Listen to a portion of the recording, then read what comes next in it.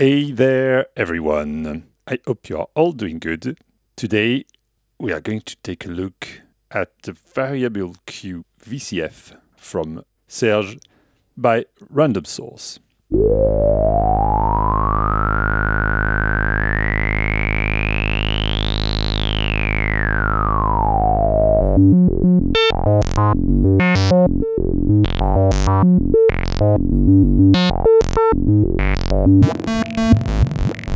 Thank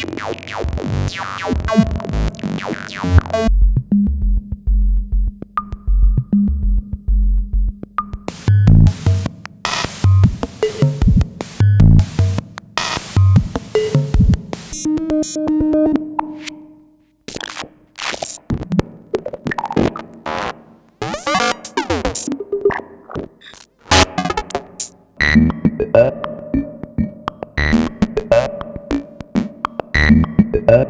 I'm doing this video, it's been a while I wanted to do it, to make a full video just about this module, but it's been put on front of the priority since one of my Patreon subscribers started to get into the Serge thing and he asked me to do a video about it. So if you want to book some videos like this, to change my priorities basically, you can uh, book the um, teaching sessions on Patreon. I'm going to show you all my favorite patches with this module. Also, one thing to note is that the Eurorack version is actually the same. Uh, maybe there's a bit more headroom due to the different type of power supply uh, running at a higher voltage in 4U than in 3U Eurorack, but I mean, it's probably very hard to spot the difference. Okay, first thing, I'm going to patch an oscillator into this and we are going to listen to it. So, here we have the low saw wave, which is what I like to use to drive filter we are using the low mode. So let me first run you down to all the things that this filter does. First hear it, it's a 12 dB per octave multi-mode filter, meaning that it has low pass, high pass, band pass,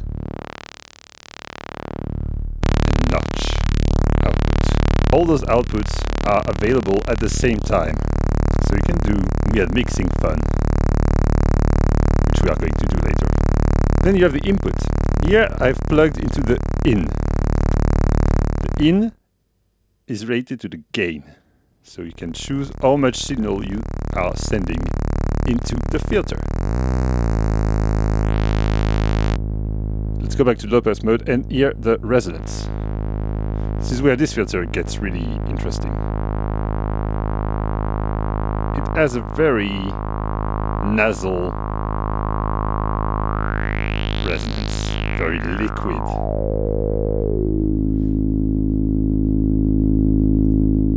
The character of the resonance is highly dependent on the input level. And then start to make things resonate in a very froggy way. And we're only halfway, as you can see. When you pass halfway, resonance starts to take over your input level and to really amplify some harmonics of your signal. Yeah. Here again. Yeah, uh, here you can clearly hear all the harmonics one by one. It usually gets into a drive territory on some of those harmonics, which can be very pleasing.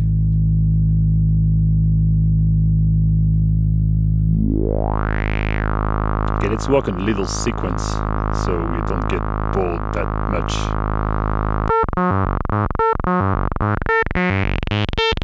Then you have as I said, you have that resonance that can get over the signal. Then you have this AGC input, which is active gain. Comp- I think it's active, but it's A something, but I think it's active gain compensation input. And this one acts a bit like the classic ladder filter and stuff, where the higher the resonance, the lower the output level. Why is this interesting, would you say? So it, it's because then you are safe from the insane saturation and big harmonic boost that this can lead to, which can be handy. It also lets you use that second input here with, for example, here the square wave of the same oscillator. And this one is not affected by the gain compensation. So, depending go, oh, you blend this and oh, you set the resonance, you have very different things. This is good, right? Let's make this that sequence a little bit funkier.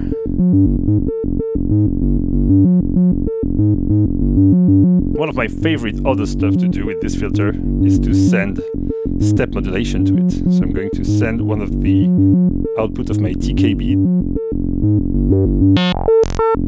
Yes. That's just yes.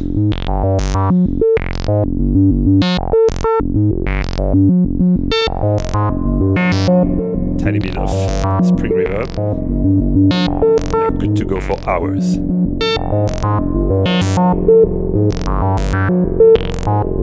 Uh, I'm going to use, just to show you, that flip-flop circuit over there. I'm going to patch the square wave into it.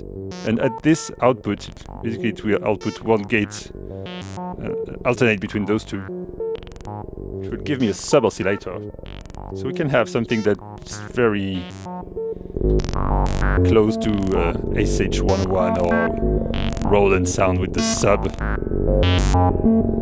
and the saw wave. One thing to note about those two inputs is that if you invert, it will be very different. So if I decide that I want my sub at max, I can put it there and then have the saw wave into this input.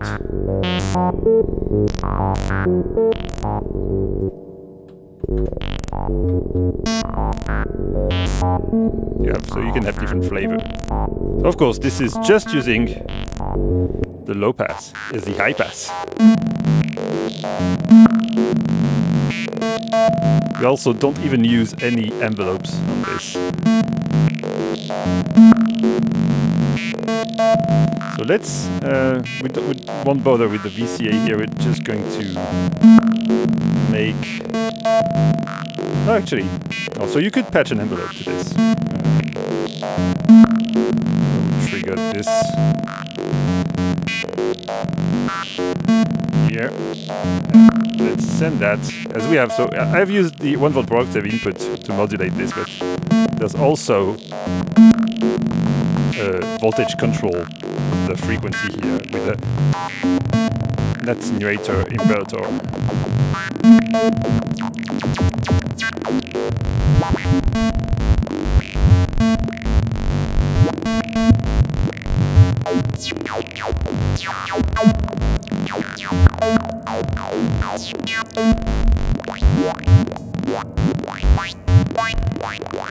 Band pass.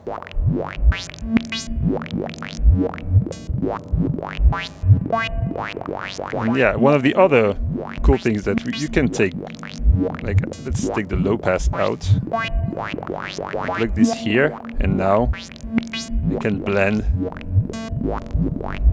between the low pass on one side, the band pass on the other side. I can um, control that.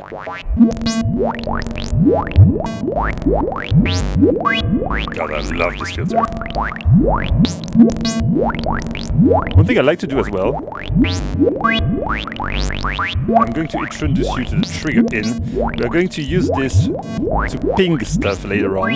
I'm going to set the input level quite low. And I'm going to send some gates from the TKB into the trig in,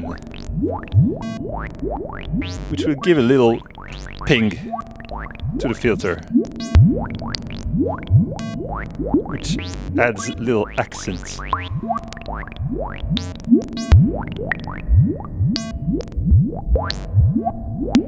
Still drops.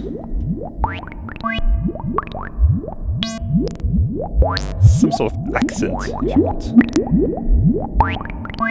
I like to do this as well directly, like sending gates into this.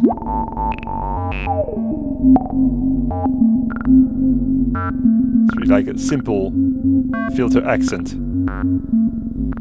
So you remember that thing we had here? That was, we're doing the stepping voltage. Now I'm going to patch it here, which is the voltage control for the resonance. So you can go from no resonance to a lot.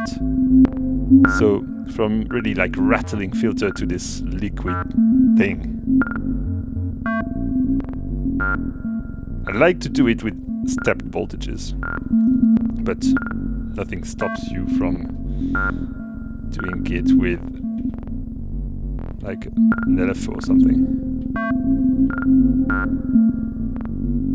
There's no attenuator on this one, so its voltage will be added. So here I'm at minimum and this will just sweep it to maximum. You need an attenuator in the middle if you want to do something more precise than this. I will put some white noise into the input here.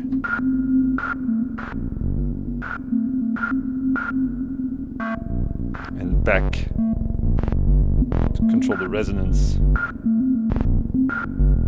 So that's most of the synth oriented stuff, like classic oscillator into the filter. One of the other things that this filter is very good at is ping. Usually, you ping a filter by sending a trigger to the input and then play with the resonance and cut off.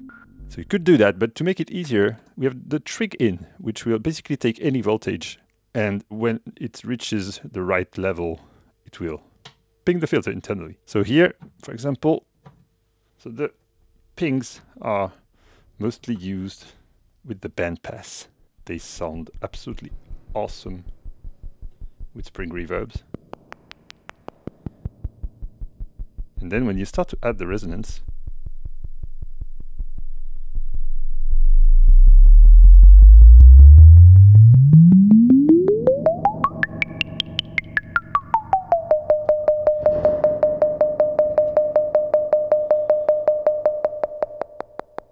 So from there, I'm going to use one row from the TKB to control the resonance. So I can have, this will change the decay of the resulting sound, as you can hear it. Let's use another row in 1 volt per octave.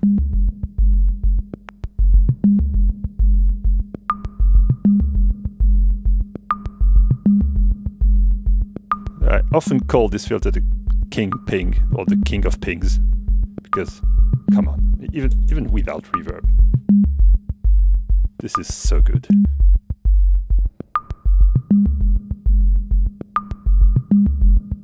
From there. There's no reason why couldn't add some stuff or you could add directly some noise inside which is something I do often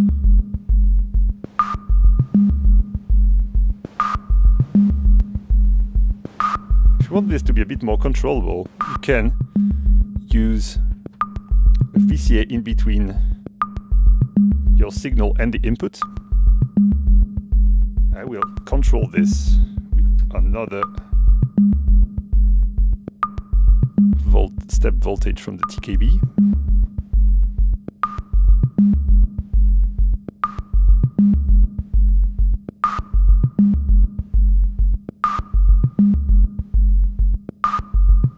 Still have this voltage control input, I would definitely trigger an envelope generator, but not on every step.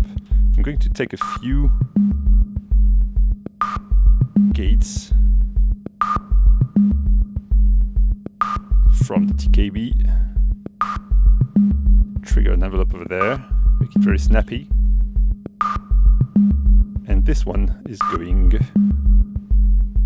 control this. So basically this is our pitch. So you can have very percussive parts added to your signal. You can make awesome kicks with this.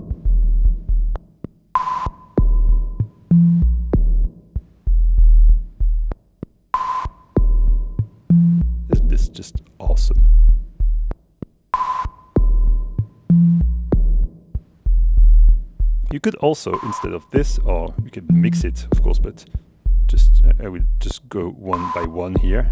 Instead of triggering this as an envelope, I'm going to loop it on itself and use it as a FM source, which give you instant FM pluck tones.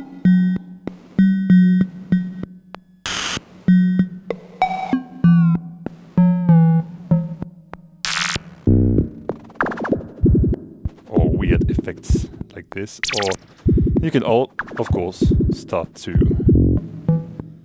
control this with another step voltage from the TKB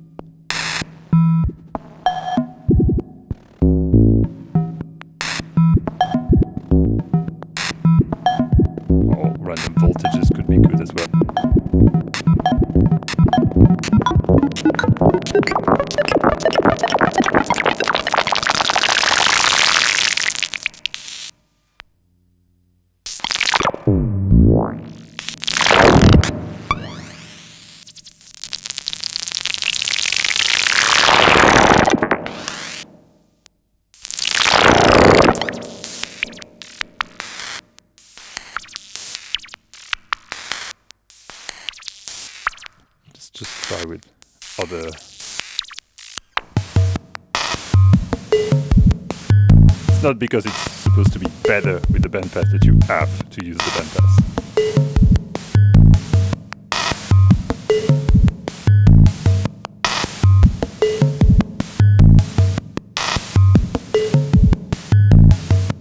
Okay. That's it for pings.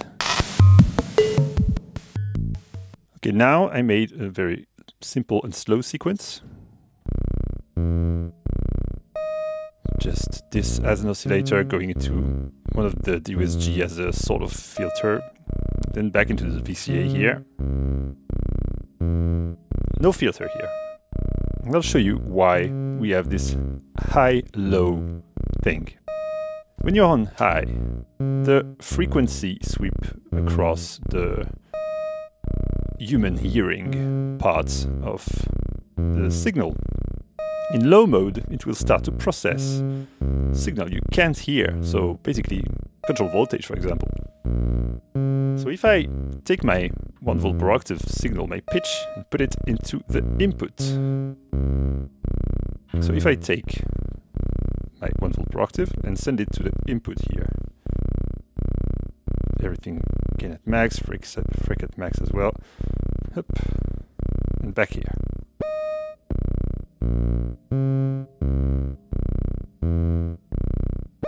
Can you hear that little whip? It's because now this is a slew. Because what is a slew? It is just a low pass filter for control voltages. Which means we now have a voltage controlled slew generator. So I can patch another row of the programmer sequencer, send it backwards, and now I can decide how much pitch drift I have on each step. There's slew generators all over in the Serge world, so this is not maybe not the best uses for this, but you can do it anyway. Let's plug this back here. You can also use the ping input in that mode to create the trigger input, I mean, to create envelopes. Let me show you that it's quite fun. Let's send our gate to the trigger input. Let's take the bandpass out to the control here. You can hear there's a little click.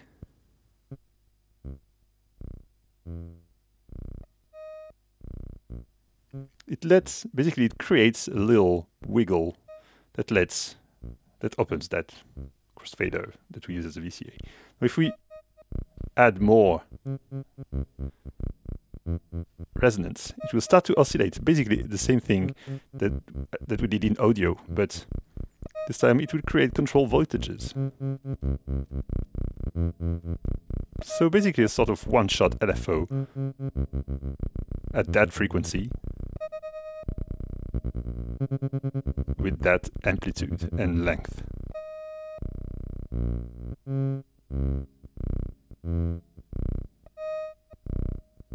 So let's patch it to something different. And we'll send that bandpass thing to control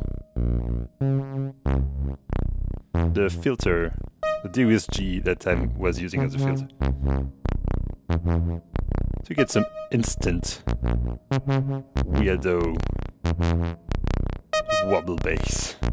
You can of course still control all this.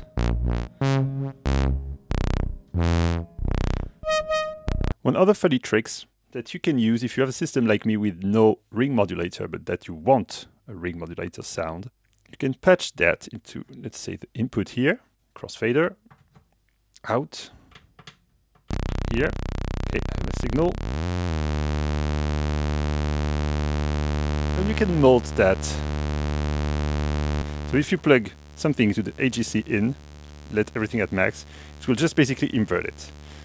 So now we have a voltage control crossfader that goes from one phase to the opposite one, which is, in a sense, a ring modulator.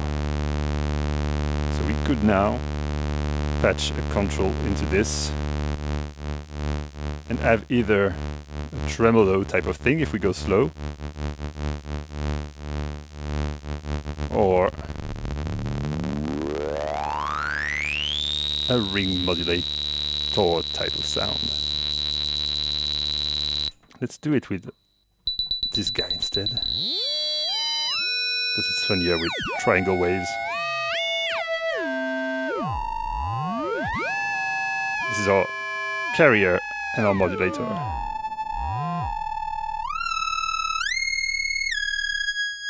I did this funny patch earlier, but I forgot to press record.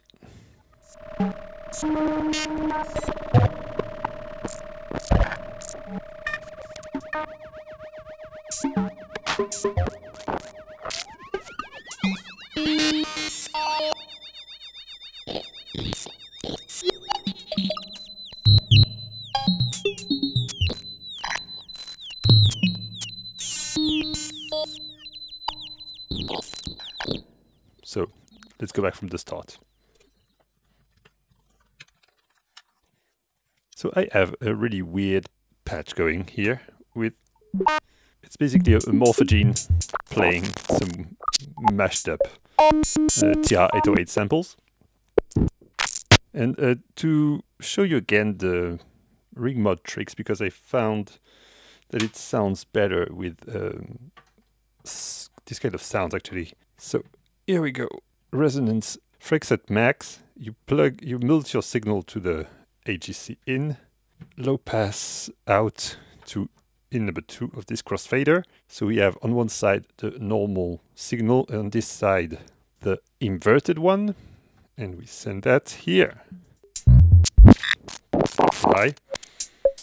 So right now it doesn't make any difference. But now let's plug that modulator triangle wave from the smooth. now we have proper ring mod fun stuff. Some reverb.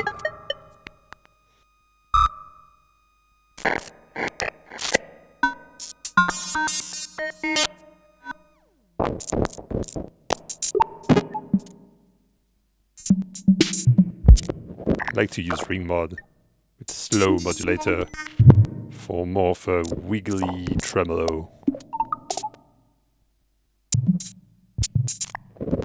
It can be fun to use something where you have control of the shape. Like this, which you can make like ramp. Inverted ramp.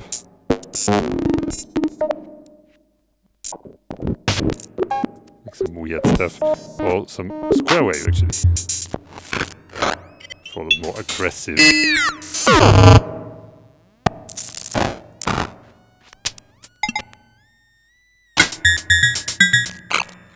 That's well fun. Okay. One of the other thing I wanted to show with this. Here we are back with our main signal. I will make a copy of it put it to the input this time, not the AGC one. Take the bandpass, put it there. So here I have my normal signal, and here my bandpass filtered one. With the resonance as we've seen with the ping, you can just take the incoming audio and make it resonate to a said frequency. This can be used in parallel with the dry signal to emphasize some of its some of its part, basically.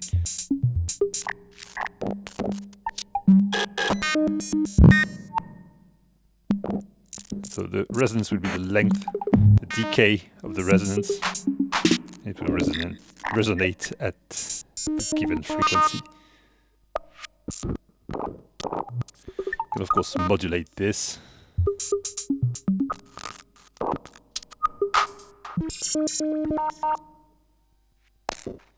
Better audio rate, some crunchy stuff.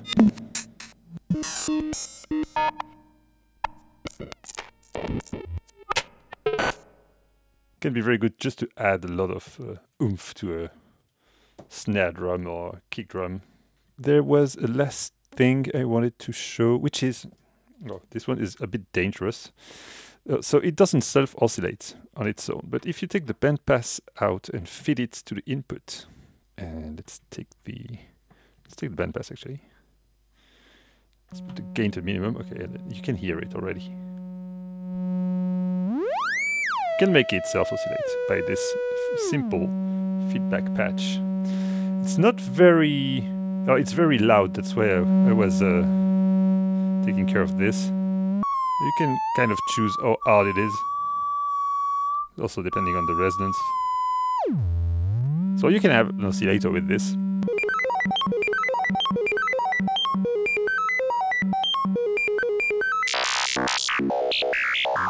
Uh, basically, you have a sine wave oscillator. Uh, what's more fun? So let's make another type of patch. Now if you switch this to low, it is still self-oscillating, but at uh, low speed, which means you have an LFO out of it. Most fun part is that yeah, I'm taking back that same bandpass So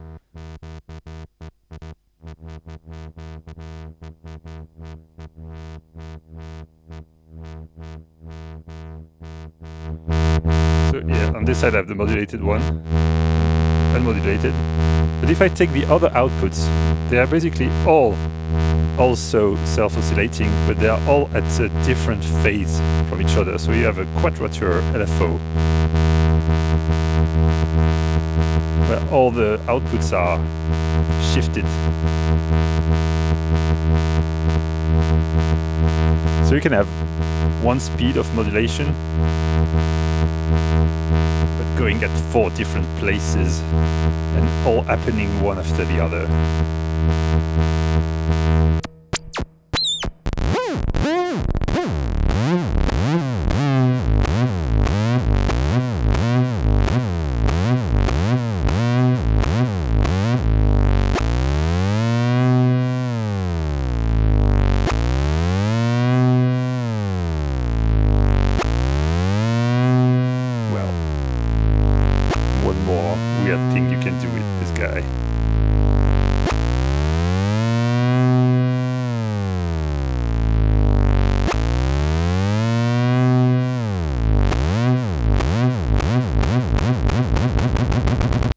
Okay, we'll end this presentation by one of my favorite patch. I will use this one again as an oscillator. Back on the first patch basically. Saw wave here, this to the flip-flop, flip-flop back here, low pass output.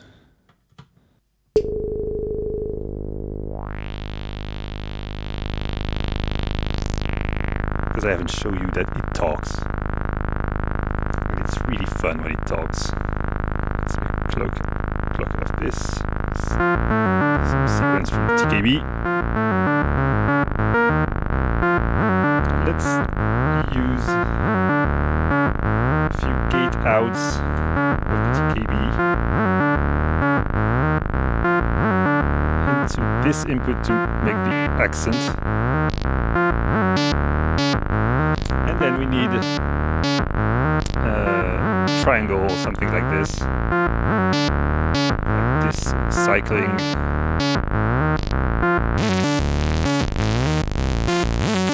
Then you have to find the spot. Yes. So this has to go fast for the right modulation. Then you have to find the spot where it starts. Yeah, to make the resonance talk. But yeah, I'm completely unattenuated. I could just use the Active Pro as an attenuator there.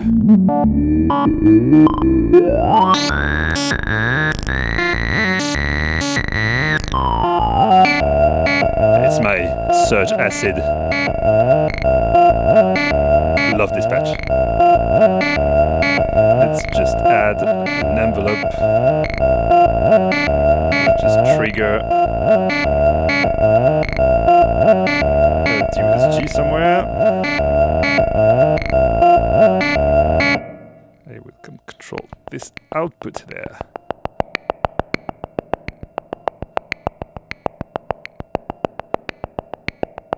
And then let's control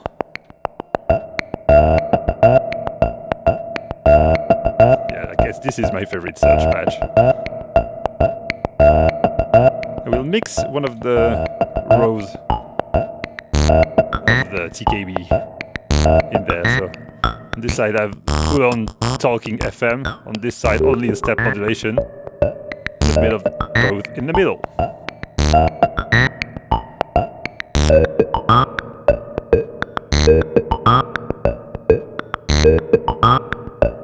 Yeah, I will leave you with this.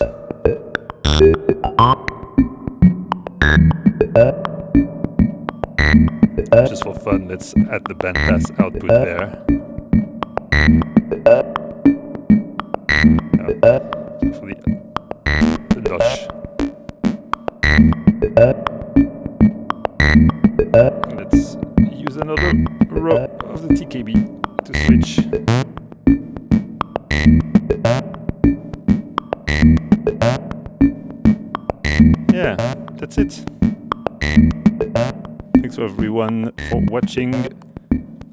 Some fun. I'll make a sample pack of this. I hope it was helpful. And uh, see you next time. Make sure you like, subscribe, check Patreon, and all this. Bye bye.